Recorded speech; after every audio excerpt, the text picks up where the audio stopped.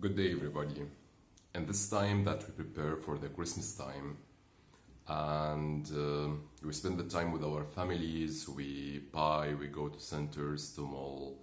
In the same moment that you can enjoy a good meal in your house, a warm under a roof, um, many good things you deserve it in life. There is people who just moving right now from their cities.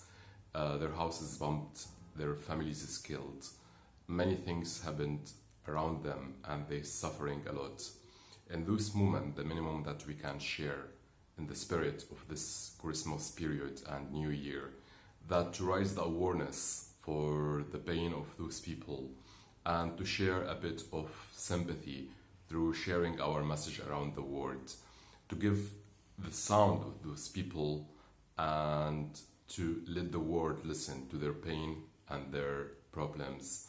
Please help me to raise the awareness aware about the war in Idlib and the bombing in Idlib over people, over innocent, innocent head of people, and uh, spread this, spread this message around the world.